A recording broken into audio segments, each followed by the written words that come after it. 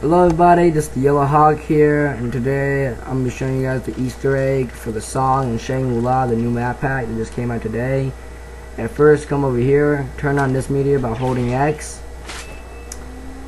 and there it is. Uh, now you need to do is just survive, and then open this door right here,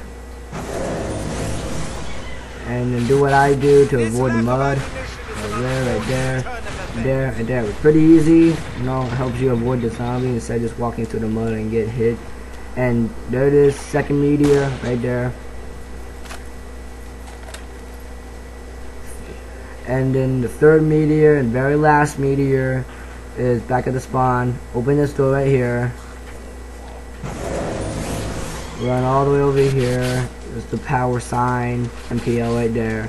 And open this open this door run down this cave. And little AK-7 for you. And that open that door. This, this, is also the door to the power room. And there it is. Last meteor. Turn on the music Easter egg song for this map. Shangri-La. Hope you guys enjoyed this. Like, comment, and subscribe for more. And yeah, it's been Hawk signing out. Peace.